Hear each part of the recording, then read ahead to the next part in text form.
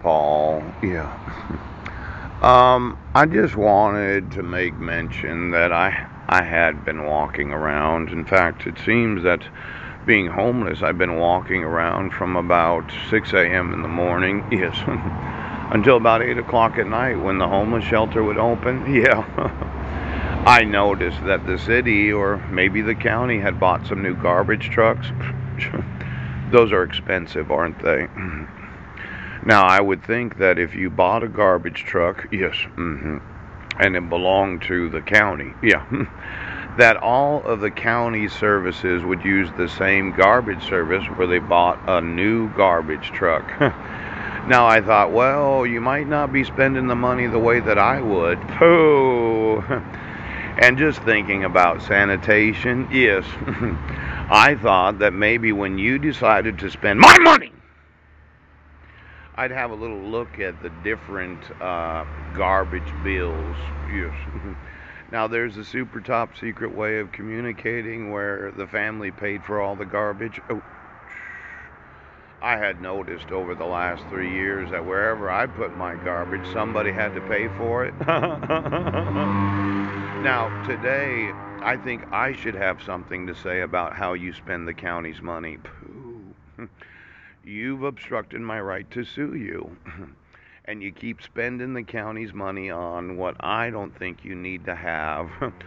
so would you get me the actual sanitation bills of the well the individuals in authority, the city council? Ooch, did you approve the new garbage truck? It must have cost well two hundred fifty to three hundred fifty thousand dollars.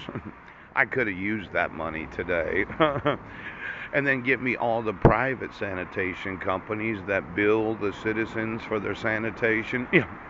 I just thought we'd go through the sanitation departments today, both the county owned garbage trucks, yes, and then the private corporations that own garbage trucks. And we look at their employees because your top secret way of violating the laws of the United States is causing me to get upset, as in, I don't think you should have spent my money.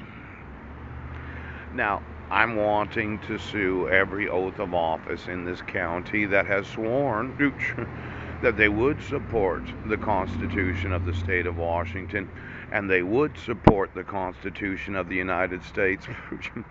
I was looking at a candidacy form that I had on a drive that I had put on Facebook yesterday. Yes. You had sworn when you were running for office that you would support the Constitution of this state. Yes the laws of this state and the Constitution of the United States. And when we go through every employee of every sanitation company, I think the states and the counties in the individual states will not be buying any more garbage trucks, okay? You're going to have to fix the old fucking truck because the truth of the matter is, I'm going to sue every state of the United States that thinks that you can issue court orders where I wasn't a resident of Washington state. And then you can arrest American citizens for crimes they didn't commit. And then you can ignore the actual laws of this great nation. now, one of those new garbage trucks must have cost a lot of money. Oh. And when I had seen that you had purchased a new garbage truck while at the same time, yes, obstructing my legal right to sue you for refusing to enforce the laws, I'm going to want to know every bill of all sanitation companies everywhere in the United States. Now, do you have my right hand this morning? Because it seems a